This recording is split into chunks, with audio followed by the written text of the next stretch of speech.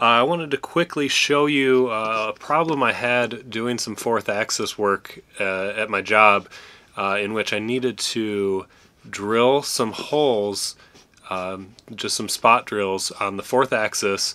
So once this badge that we have for this uh, the electric scooter we're building uh, once that's bent around the tube, we would need to know where those holes go for the rivets. So uh, I'm going to go through the steps of how I calculated where to drill these and then um, just do a quick time lapse of me drilling those and showing you the finished product. So uh, let's start by jumping into Fusion. Now, originally thought that all I'd have to do is extrude the sketch um, from this object and that would give me my hole pattern. Uh, it doesn't seem to work like that though and I'll show you why. So let me turn the original badge off and I have my sketch for it here. So if I do an extrude and choose the object as my direction,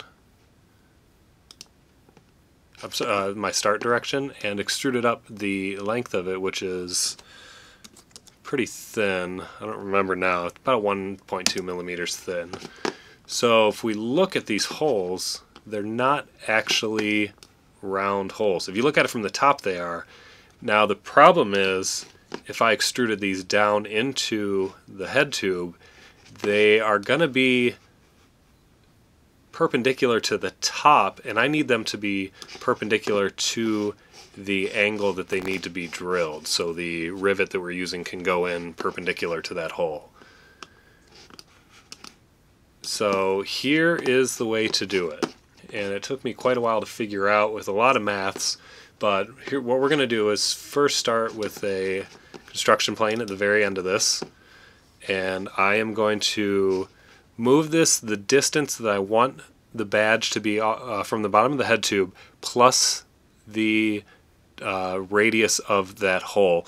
Uh, seven millimeters plus, um, let's see, it's a 2.31 millimeter hole divided by two. And that's where we want the first set of holes to be. Now here's where it gets a little tricky.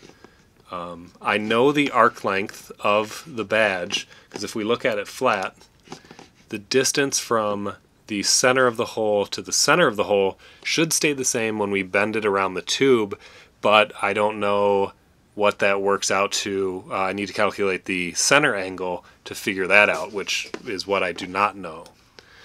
So what we can do is go into uh, create a sketch and we are going to draw a circle the diameter of our tube here uh, which is 60.1 and is do some maths. And rather than bore you with the complicated math that goes into it, there is a website where you can, this Omni calculator, where you can type in um, the information that you have uh, to figure out the unknown information. So I know my diameter is 60.1 and I know my arc length is 50.8. So that gives me my center angle of 96.8594 degrees. So I'm going to copy that. And I'm just going to draw a center line here just uh, to help me out and make that a construction line. Now draw a line out just anywhere out into space and do the same over here. Now we can dimension this and choose this first line and then that construction plane and that will let us put in an angle. So we want to go ahead and take the, paste that angle that we had from before and divide it by 2 because it's half and now we have uh, 80 sorry 48.4 degrees. So we can dimension the other side now and do the same thing. And now we can just trim off this excess over here and over here go to sketch and create some points right on that line where they intersect. And now that gives us where we want to drill our first set of holes. Now to do the next set of holes, we know the distance between these two, uh, which if I have it written down, it is uh, 38.1. So we'll do an offset plane from that first offset plane that we did, and we'll move that to 38.1. Now we can go ahead and create a new sketch on that offset plane. And all we have to do is project our geometry by hitting P. And just make sure I get all those points there. And once we exit out of that sketch, we should be able to see that our holes are going to be um, where we need them to be. And we will use these points in our cam operations to uh, set that drilling on the fourth axis. So let's jump into that real quick. So now that we're in cam, uh, we can create a new setup. And our stock is, we're going to do a from solid, and that'll just pull in the dimensions uh, from this object that we already created. Now, this is where it gets a little tricky with uh, work coordinate offsets, and uh, what we're going to do is select a z-axis. That's going to be our up and down.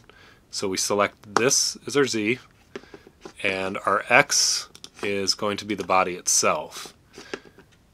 And we want to make sure our origin point and now we'll create a drilling operation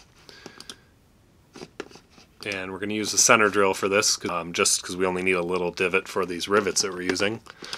And now for hole mode we change this to selected points and we're going to choose that point and that point. And for our height we're going to do hole top and negative 2 millimeters. So now that we have that drilling operation, um, if we were to duplicate this, and choose these holes over here, the Z is going to stay in the direction that we have set up in the original setup for this. So that's not going to drill it correctly. We need it to drill perpendicular to this angle that we created. So we want to go to Tool Orientation.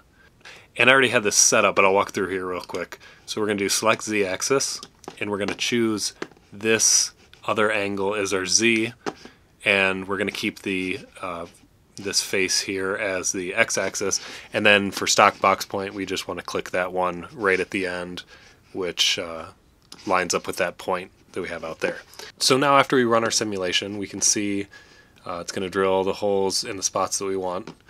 So uh, thank you for watching and if you liked it uh, make sure you thumbs up and subscribe. I try to post interesting information um, so if you have any questions or anything about Fusion and uh, need any help, let me know. I'm willing to help out. So um, enjoy the footage and uh, thanks for watching.